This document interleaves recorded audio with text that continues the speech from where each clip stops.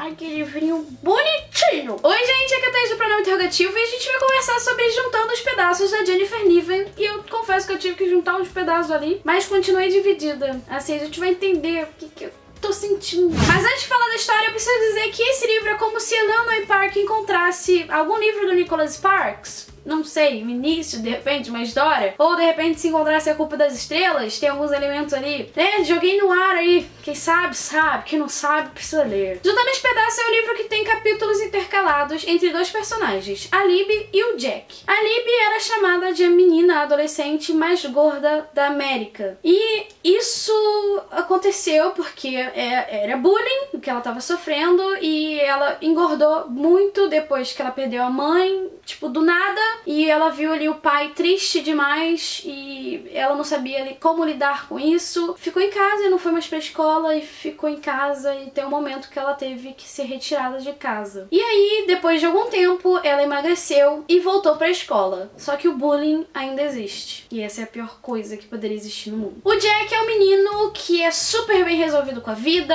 ele é divertido, ele é engraçado, mas ele tem um problema, ele tem um segredo que ele não consegue reconhecer o rosto rosto das pessoas. Ele viu a pessoa hoje, amanhã ele já não sabe mais quem é aquela pessoa. Então, já que os capítulos são intercalados, a gente já sabe que eles em algum momento vão se encontrar, principalmente ali na escola. Só que o jeito que eles se encontram é péssimo. Sério, é muito ruim. É a questão do bullying que eu falei com vocês ali no início, né? E como eu disse pra vocês, esse livro me deixou super dividida sobre o que achar, se eu gostei muito ou se eu gostei apenas, porque o primeiro livro que eu li da Jennifer Niven foi Por Lugares Incríveis, e em breve eu vou falar sobre ele aqui, e é maravilhoso. Então se você vai ler juntando os pedaços, não espere outro Por Lugares Incríveis. E uma das coisas que eu mais gosto, que eu mais gostei desse livro é a escrita da Jennifer Niven, é envolvente, ela consegue dar muito significado significado para as coisas que acontecem na história. Às vezes você acaba deixando de lado, mas ela dá um significado tão marcante, tão importante, tão incrível pra coisa, que a história fica ainda mais envolvente. E esse foi outro ponto que eu gostei demais, porque ela consegue te envolver, você precisa deixar o livro de lado, mas você não consegue, você fica pensando na história, o que vai acontecer e tudo mais. E um outro ponto que essa autora consegue ser incrivelmente genial,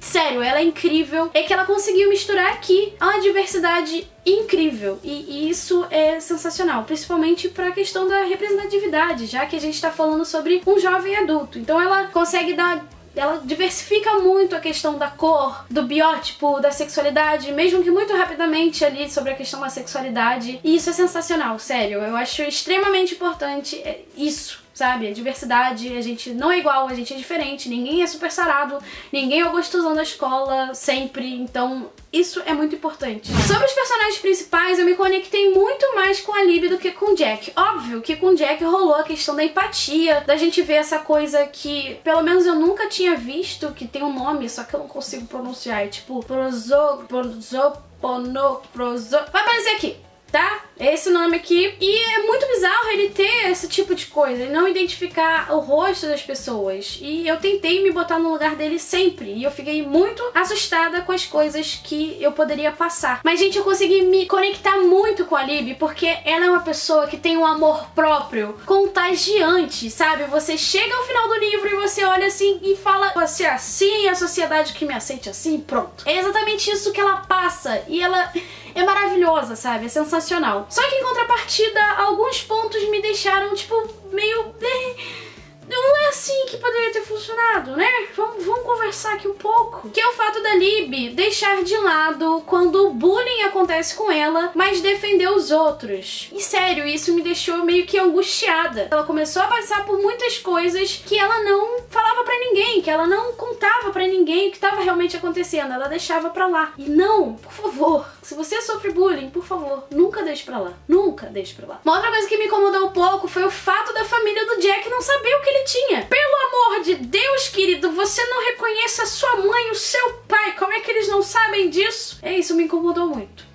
Eu acho que deu pra perceber pelo meu tom de voz, né? E uma outra coisa que, vou dizer que não me incomodou, mas assim, eu já meio que sabia o que poderia acontecer no final. Eu acho que é isso. Mas isso não tira nem um pouco o brilho da história, tudo que a Jennifer Niven escreveu, criou e tudo mais, que é uma história muito bonita. De certa forma, é muito bonita. Ela consegue ali mostrar muitas questões importantes que a gente precisa ver sim. Então eu posso dizer que Juntando os Pedaços é um livro sobre muitas coisas. É um livro sobre esperança, é um livro sobre ter coragem para enfrentar o mundo, é um livro sobre superar as perdas, é um livro sobre como o bullying cega as pessoas e é sobre como o que tá dentro da gente é o que mais importa, sabe? Não é a casca, não é isso aqui, não é se eu sou bochechuda, ou se eu sou alta, ou se eu sou magra, ou se eu sou baixa. É o que tá dentro de mim que importa. É aquilo que eu posso oferecer para você que importa. E, gente, eu acho que eu já me decidi, né? Que eu acho desse livro. Então, como eu fiquei bastante indecisa sobre a história, eu preciso de alguém para me ajudar aí